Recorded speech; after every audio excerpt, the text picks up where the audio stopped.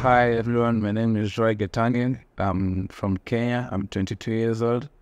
I'm in Fanshawe right now. I'm pursuing uh, diploma in construction engineering technician.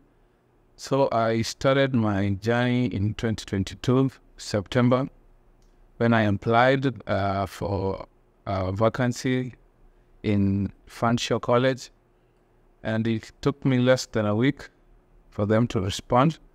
And the journey from then has been a little bit easy. I've not struggled through it.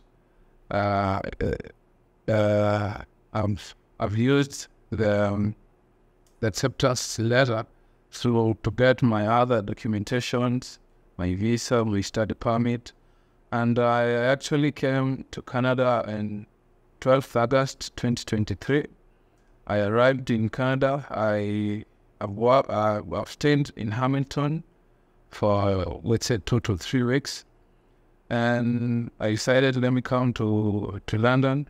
Because school was going to start, and uh, I noticed that Hamilton and London is a bit different. The environment, it's a let's say London, it's a bit cooler than Hamilton, and it's more green, and uh, and let's say uh, I, I fell in love with London a little bit.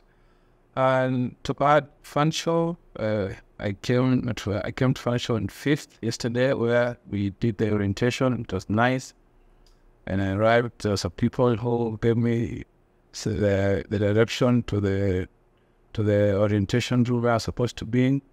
Uh, the people here are kind. They're more friendly, and actually, I haven't struggled to move from one room to another.